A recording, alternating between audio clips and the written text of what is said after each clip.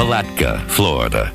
In the great American success story, it's the kind of town the hero leaves so he can chase his dreams somewhere else. But John L. Williams keeps coming back. For when the NFL beats him down, it's a shot of love from home that gives him the courage to go on. I call him every every night and uh, talk to my mom and I tell her what's going on and she tell me to hang in there and keep going and, and she strengthens me up every time that I talk to her on the phone and and it makes me feel so good that they realize what I am going through out there on the football field. It's probably not what Mrs. Williams had in mind. But her son plays power football for the Seattle Seahawks. As a young fullback, John L. proved he was willing to pay the price for every yard he gained. But what was even more impressive was his willingness to put his personal goals aside to become the blocking back for Curt Warner. Aside from two days as a lineman in the ninth grade, John L. was a novice as a blocker. But as he helped Warner to two all-pro seasons, Williams grew determined to make the most of his new role.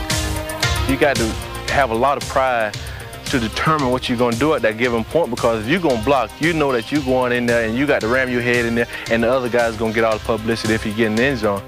He may have been playing second fiddle, but John L. became a virtuoso.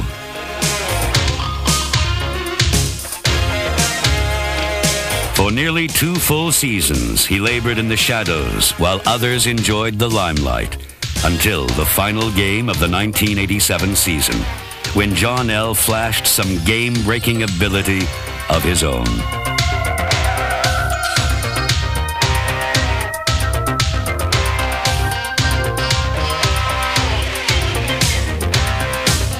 This 75 yard touchdown gave John L. a taste of the spotlight and encouragement for the future.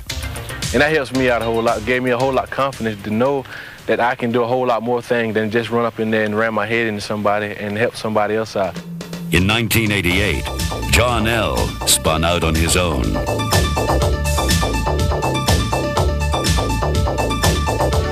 John L. carried the load for the Seahawks all the way to the threshold of their first ever division title.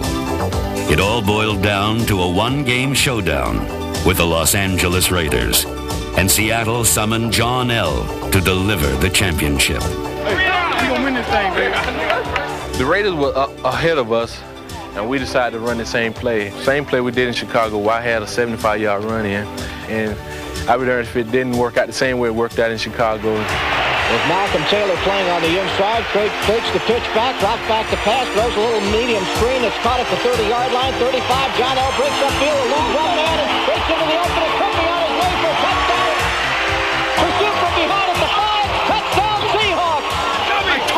Told you it's going to be a big play. Malcolm Taylor was chasing you down, bud. We knew right then that it was for real. And it just so was, it was just such a big thrill on the sideline, knowing that it was our first divisional championship that we win.